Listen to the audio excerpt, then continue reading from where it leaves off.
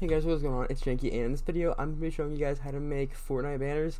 Now, a lot of people um have been commenting on my videos and stuff like that, or uh, in like my chat section in my YouTube, in my like live streams and stuff, and they've been asking how to make uh, Fortnite banners. Uh, so yeah, uh, I just thought that I would make an uh, updated tutorial on how to make them since my other one was kind of old, and there's been actually some updates to the uh, Pixlr E. So yeah, I just thought that I would make a updated tutorial and stuff like that. So yeah, let's see if this video can hit 20 likes. That would be awesome if it could. And uh, yeah, let's just get right into the video. So yeah, guys, uh, what you want to start off by doing is going to this website. It's called pixlr.com/e. And then whenever you guys do that, you guys want to get your um, template for your guys' YouTube banner. So if you go up to here and search up YouTube banner template, go to images. It should be the first one. Now you guys want to make sure that this resolution right down here, whenever you're saving it, is 2560 by 1440p. And then what you guys just want to do is uh, right click on it, click save image as, and then just save it somewhere. That's easy to access. Whenever that's saved, what you guys want to do is you guys want to go to open image, and then you guys want to open it. And then make sure you guys click on original, and then click apply. So yeah guys, whenever you guys do that, uh, the first step that I normally do whenever I make these banners is I go to the text icon and then I click add and then put in my name. Now uh, you guys can put in any font you guys want. Uh, if you guys want to figure out how to download new fonts, there is a video linked to that in the description how you guys uh, download free fonts for Pixlr E. So yeah. Um, for this specific uh, tutorial, I'm going to be using a font that I've been using a lot lately. It is called Hair Mask, and I really like and I really like it. All right, and then you guys can enlarge in it a lot, just like I'm doing right now. And then if you guys click on styles, you guys can add like outlines, backgrounds, shadows, whatever you guys want to add. And I'm just going to be doing this, and I'm going to be making it blue. And then I'm going to turn the size down to 2. Alright guys, so whenever it's just like this, uh, what I would normally do here is um, I would actually go to layer and then rasterize text slash element. Now I'm going to be showing you guys a really cool effect that you guys can do uh, that makes your uh, banner just look that much better. So I would recommend tilting it just a tiny bit. It'll make it more compact, it's easier to move around and everything like that. And then what I would do is make it small and then line it up with the center of the banner, just like I did right there. And then after that, click on it, right click on it, and then click duplicate layer. With this new layer, what you're going to do is you guys are going to make this a tad bit smaller, just like this, and then center it up as well. Now after you guys do that, um, what you guys want to do is right click on it and then change the transparency to 50 just like this and then move it below your other one. Now for this specific uh, like this specific like name that I use um, it's actually some names look a lot better with this effect. You might need to make it a bit smaller just to make it look better. Yeah like I had to make it a bit smaller and it looks like a lot better. But some names look a lot better with this effect. I'm just letting you guys know that so yeah, after you guys do that, the next step is adding in your guys' Fortnite character. So you guys can either add in two or you guys can add in one character. Uh, I'm going to be showing you guys both of the different um, ways. So yeah, I'm just going to be uh, picking out one character. So you guys, uh, you guys can up any specific skin. I would recommend doing just searching up Fortnite uh, skin PNG and yeah, you guys are going to look for PNGs because those are the uh, transparent backgrounds, so it looks really good. And uh, yeah, just look for a skin that matches your color scheme and looks good. For my case, I think I'm going to be using this skin right here. Now to find out if it's a true PNG, some of them, whenever you guys look at them, they may have this um, checkerboard pattern, but they are not actually PNGs. They just have the checkerboard pattern. So you guys want to look for uh, pictures that have a white background, just like this one right here. But if you click on it, and whenever it fully loads, it then it'll have the checkerboard pattern. That is an actual PNG. You guys are gonna right click on that, copy image address, and then layer, uh, URL as layer, and then paste the URL in, and then your character will be right here. Resize it, make it just however you guys want. I'm gonna center it up, and then uh, make sure you guys are selected on it. Click this icon right here, and then just uh, delete all of the extras. And if it if it's like a bit cut off, like you can definitely stick this line here. Click this tool, and then just use the arrow keys to move it down one, or however much you guys need. And boom, now your character is on your name. So this is if you guys have like a bigger name and it like um, it'll work a lot better if that if that's the case. But since my name is not that big and it's kind of hard to see, I'm actually going to be moving the character over to the side, just like this. And then I'm going to be moving it. See this line is going to move it down one so it's matched up. And then I'm going to be since my name's smaller like I said I'm going to be adding in another Fortnite skin. Alright guys here's another one and I'm actually going to show you guys uh, so if you guys find a skin that you guys really like but um, uh, it, it is not transparent or uh, it's just it has like a plain white background uh, what you guys can actually do is go to copy image address and then add it in and then as you guys can see it comes in with a white background. Uh, what you guys can do go to the wand select.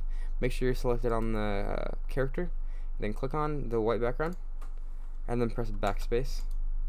And then boom. It's not gonna look I don't think it looks like as high quality as if you did it as PNGs do. But it doesn't look horrible. And if you guys are wanting a specific skin it might be worth it to do this. Uh, I'll show you guys what we're gonna do. That might that's gonna show you guys that it's worth it. And it's actually not even that bad to use this. So whenever you guys uh, get the whole skin what you guys are gonna do is uh, just like you normally did for the other one resize it and then put it on the other side. So what I normally do to match up the sizes of the characters is I would put their heads together and kind of make sure they're the same size and then move it to the other side. And then use the wand select tool just like I did for the other one alright and it looks like it's lined up yep it's lined up so now just kind of like adjust the characters make sure that you can like see them good and also your text I prefer to have them a little bit over my text because I think it looks pretty nice. But yeah, make sure that they're pretty even and it looks like they are. So the next step is adding in your guys' background. So to add in the background, search up Fortnite map back uh, you guys can do background or backdrop. I prefer backdrops. And then you guys go to images. There's tons of different Fortnite map backdrops you guys can choose from. You guys can keep scrolling down to find more and more of them. Alright guys so I'm gonna be using uh, this one right here. So what you guys are gonna do is just uh, right click on it copy image address just like before and then insert as layer. And then once it's pasted in as you guys can see mine is already like uh, lined up but you guys might need to resize it and line it up and then what you guys are going to do this is a strategy that I've uh, that I created a long time ago. But what you guys have to do is see your background layer right here has this little lock? Your template layer you guys are going to double click the lock. Now it's unlocked. And then you guys are going to take this uh, picture that you guys just added as your background and drag it below the background layer. And then you guys are going to make sure you guys are selected on this right? The new image that you guys just created or you guys just uh, put in for your background and then you guys are going to uh, delete it. Uh, according to the uh, desktop max which is this whole entire giant small rectangle. So you guys are just going to delete it just like I'm doing. And then just move this above the background. And there you go. So whenever you guys do this uh, what I would normally do here is I would uh, go on to this background you guys just made right here. And then um, go over to adjustment and then I'd go to hue and saturation and then I would turn up the saturation and other things because this really makes your banner pop and makes it look really nice. So yeah I would turn up the saturation and lightness a little bit.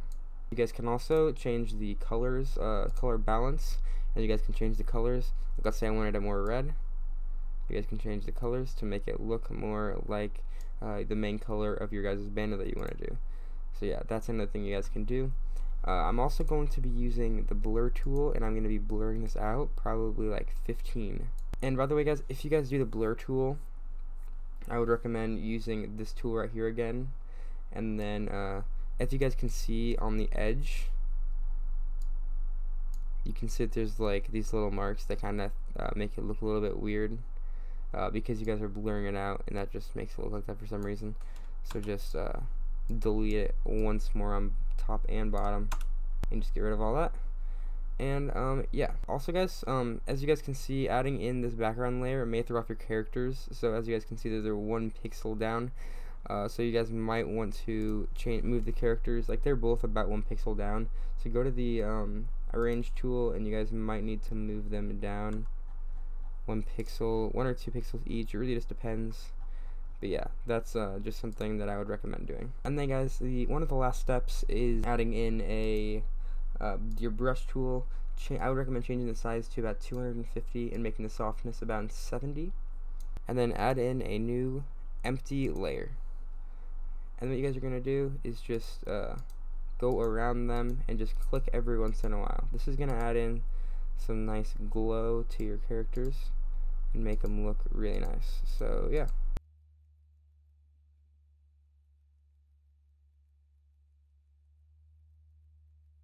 Alright, so whenever you guys finish with this, um, you guys can use this tool, uh, uh, just like you guys did before, and just crop out all this extra stuff, this one on the bottom, just like I'm doing now.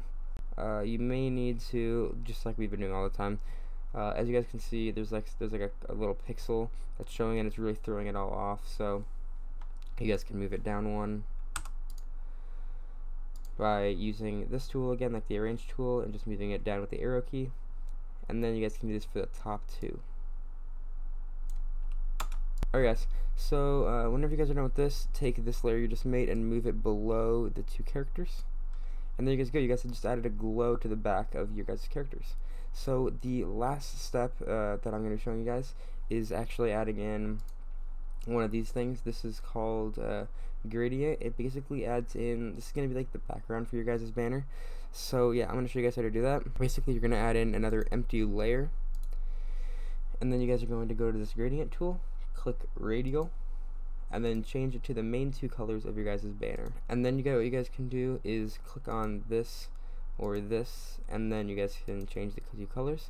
Uh, the main two colors I feel like I used, uh, you guys can click on these as well, like you guys can go off and pick your color uh, based on other colors in the banner. So like let's say I wanted a blue here, or I wanted this green. It really, you guys can do whatever color you guys want, but I'm going to be doing blue, and I'm going to be doing uh, green, just like this, I feel like. Yeah, that'll look good. And then what you guys are going to do is make sure you're on your empty layer, and then just drag from the center and out. And then take this layer and move it below your picture and there you guys go. You guys have just made an awesome banner uh, for absolutely free on pixlr.com slash e. So I hope that this video helped you guys out on how to make a banner. This is my updated Fortnite banner tutorial. So yeah, uh, if you guys did enjoy this video or it helped you guys out in any way, I'd appreciate if you guys leave a like and subscribe. I make these videos all the time, and I think I'm also going to be starting to make some IRL videos and some other gaming videos. Uh, so yeah, make sure you guys look forward to those. Um, I hope you guys have the greatest of your guys' day. Stay safe, and I'll talk to you guys in the next video. Don't you